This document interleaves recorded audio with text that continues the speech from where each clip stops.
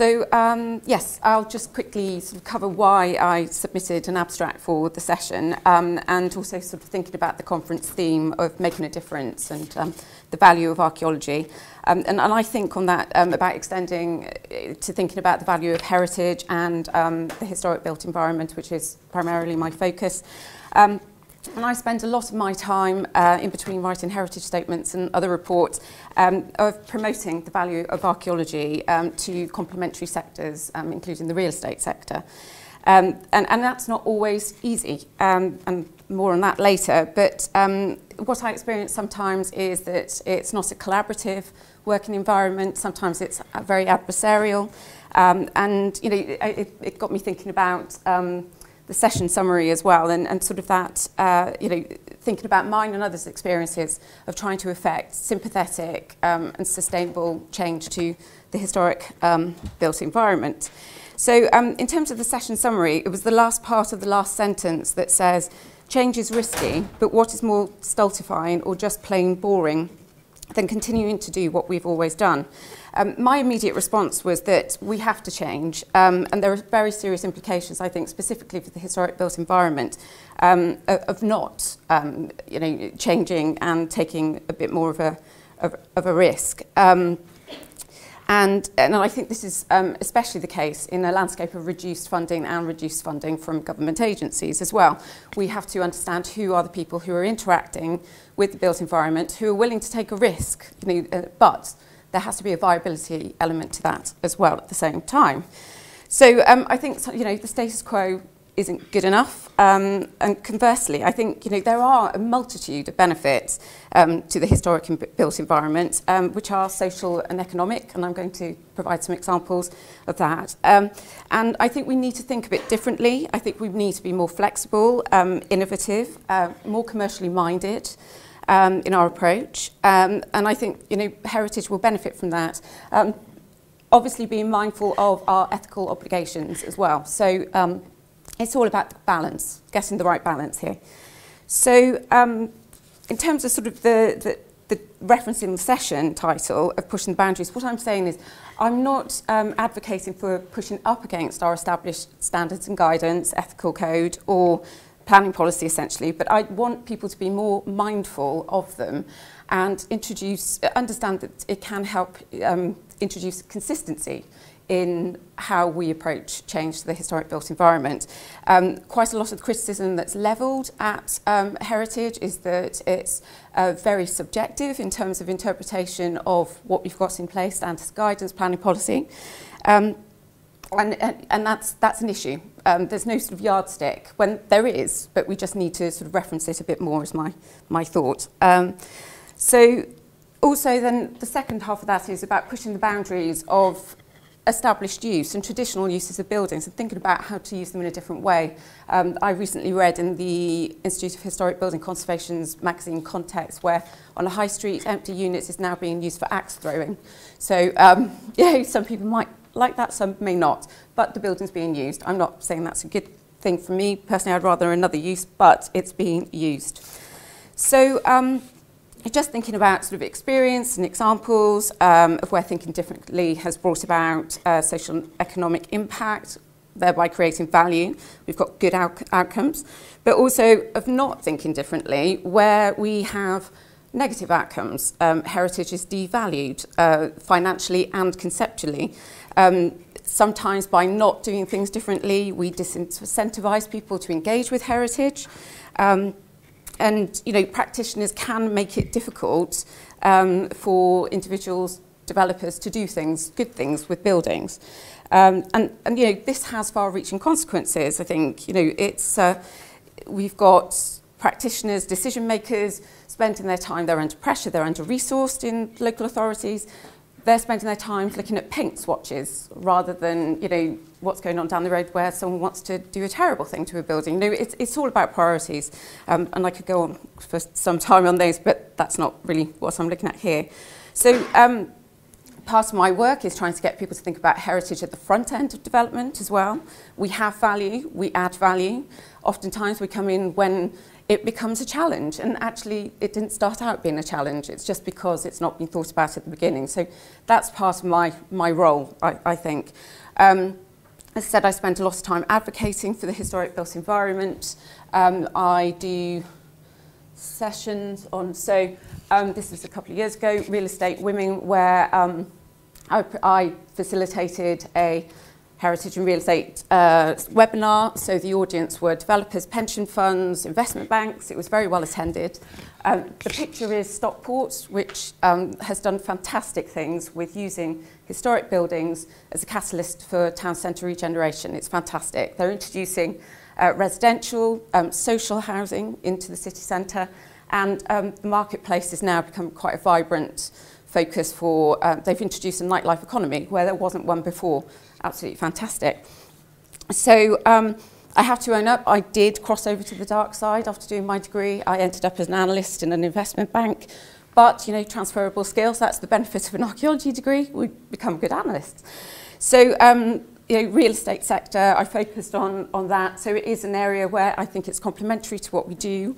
Um, there are funds to do things with historic buildings, so it's an area that I do advocacy within. Um, I'm constantly trying to alter perceptions um, that uh, heritage is a challenge. Um, so, you know, it, it, I, I love words. Um, so I've discovered that I am a logophile, uh, which is one for the next pub quiz or crossword. Um, and does this always happen? Sorry. Okay. So, um, yes. So, you know, thinking about the definition of challenge, and this is the thing, this is a word that comes up quite a lot of times. Um, and I can relate to this. It's an invitation to compete, compete in a fight. Uh, and um, it's very interesting when I go to these events, um, going beyond the sort of quizzical expression and facial expressions of, okay, you're a woman in a sea of men all dressed in navy suits and wearing gilets, which is the uniform of the real estate sector, it's rather amusing, um, to, um, oh, you're a heritage consultant. And then there's this realization, oh, you're a heritage, oh, right, okay. And then you just get this barrage of people just going, oh, I really need to speak to you last week or something. So, um, it, it, it is a sort of generally a, a sort of a sharing of horror stories, which is a bit depressing. But the thing is, they've engaged with it. This, it I'm quite amazed by the amount of people who um, are willing to take that risk. They have made an investment, they're doing something with it, and they, they need a viable end use, but have come up against um, uh, you know, issues. So, um, and the thing is, talking to them, they are put off. That's it. They probably won't want to do this again. Um, and, and this really, you know, it, it, it concerns me. Um, sometimes you will always have the stereotypical developer. You know, I'm not an apologist for, for these. There are people who want to do terrible things to buildings. That you can't stop that. Not willing to help them. That's fine. But there's a lot of people who want to do good things with buildings. Um, and you know, it's fundamentally, I do what I do because I value heritage and, you know, code, code of conduct and specifically the ethical obligation of being responsible for the conservation of the historic environment. Um, and, you know, that's, that's, I think, is a common goal. It should be a common goal. That's what we're trying to do. So, um, you know, it, but we're faced with uh, practitioners, decision makers who want to conserve these things in aspic. Um, and I don't think that's in the best interests of conservation sometimes, but more on that later. Um, so back to horror stories um, and the challenge and uh, the fight. So this is Fight Club. I've, I'm aware that the first rule of Fight Club is you don't talk about it. So that's gone out of the window. They do talk about it. Uh, second rule, supposedly, is don't talk about it, continue. The other, third rule of Fight Club I have discovered was um, if someone yells stop, they go limp, tap out, and the fight is over.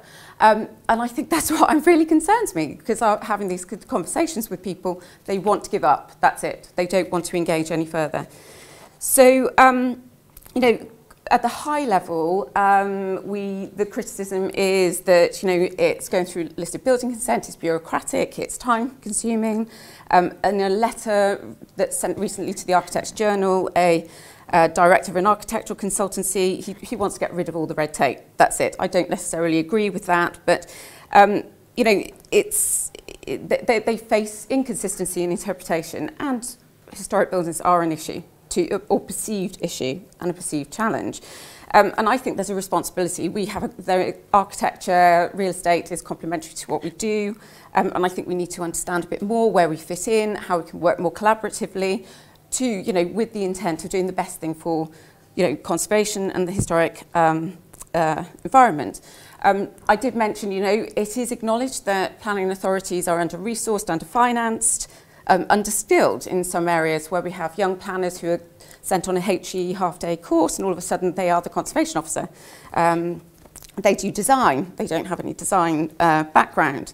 So, um, you know, it, it, it's, it's uh, frustrating for people, I think. Um, the, you know, in cases where proposals are not controversial, um, and you know, it, there's focus in areas there where there shouldn't be. So, um, you know, it, it, it's decisions being made on subjective basis, and this is the challenge. This is the fight that that people have who want to engage um, with uh, buildings.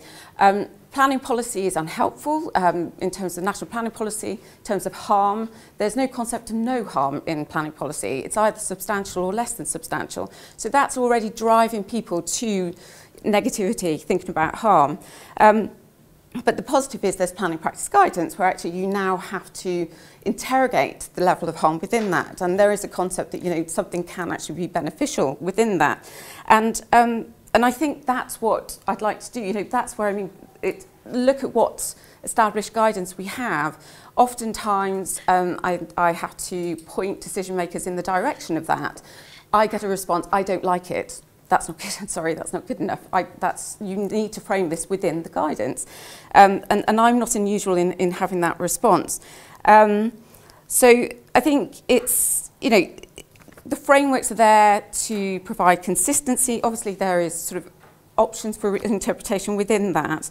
But um, I think we really need to think differently about how we work within that framework.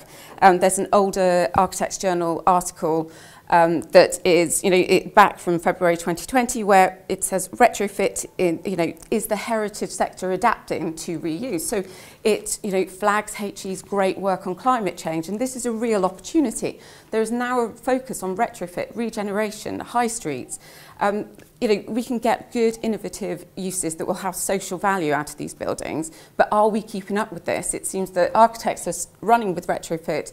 Is the heritage sector close behind it? I'm not so sure. Um, so this isn't all negativity. I've got, you know, some examples of where the focus is probably sometimes on the wrong thing. Um, as I mentioned, you know, focusing on paint swatches um, for a building that is run for a not-for-profit, very benign colours. You know, it stopped them opening. It stopped them, uh, their staff were people with um, learning disabilities. You know, it's a really good project that was stopped because of an unreasonable, um, you know, unreasonable oversight, essentially. Um, you know, blanket bans on spotlights in all historic buildings. It, it's, you know, it's things like that. That's the stories I'm hearing. That's what I'm experiencing. Um, and you don't get to hear about the good things um, that people are trying to do.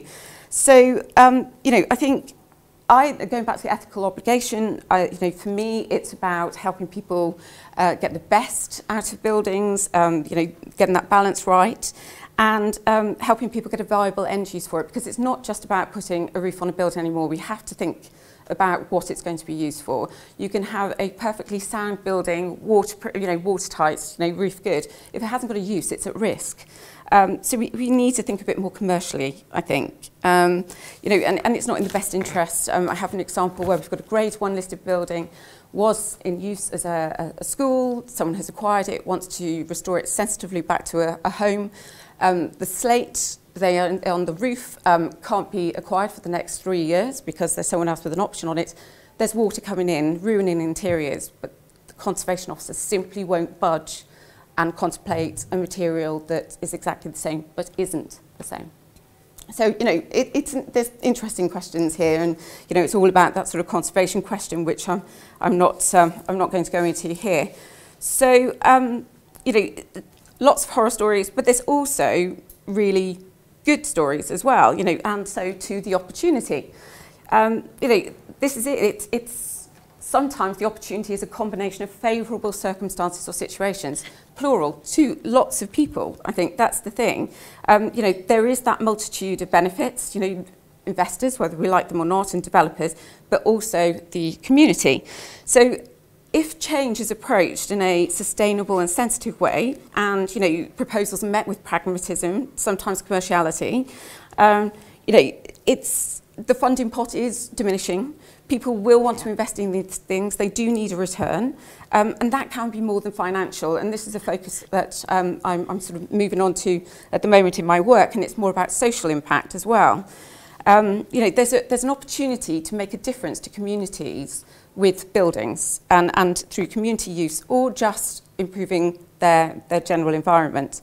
So um, I said retrofit is the opportunity that we've got here.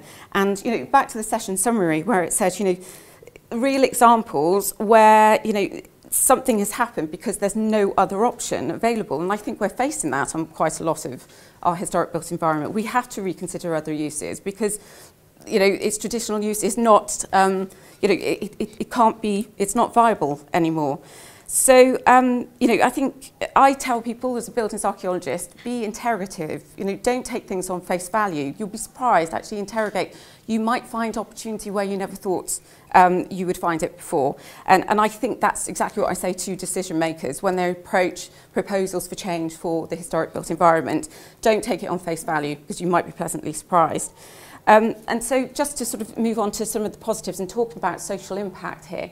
So um, I'm a trustee of a charity that was set up in 1976 called the Architectural Heritage Fund. Um, they receive substantial funding um, from um, Historic England, CADU, um, Historic Environment Scotland. Um, they are a charity as well and you can support them.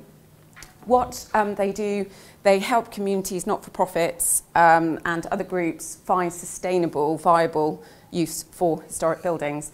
Um, again, it goes beyond putting a nice roof on it. It goes, it, they, they grant fund, they lend to organisations who want to make a real impact. Um, I was involved with, we've set up the first um, heritage-focused social impact fund called the Heritage Impact Fund. Um, I have that, set that up with them. And that's a lending fund.